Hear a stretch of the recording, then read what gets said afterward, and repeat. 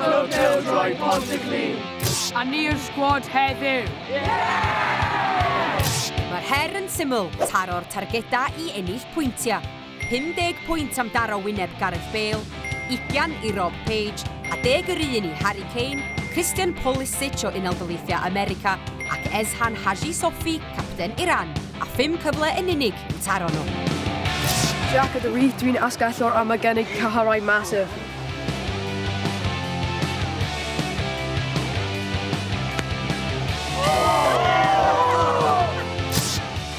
Dafydd ydw i am the funwyr. Mae hyn yn taro'r camera.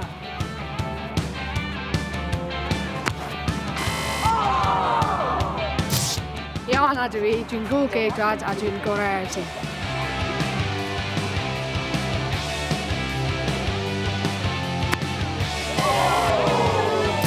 Wel ydw i, Blainer, a dwi'n gwisgo goggles.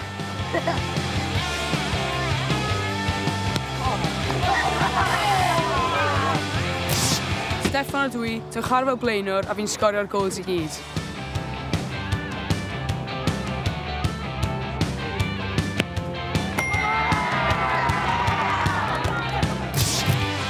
Sgôr clwb Pildroi Pontyclun oedd 5-10.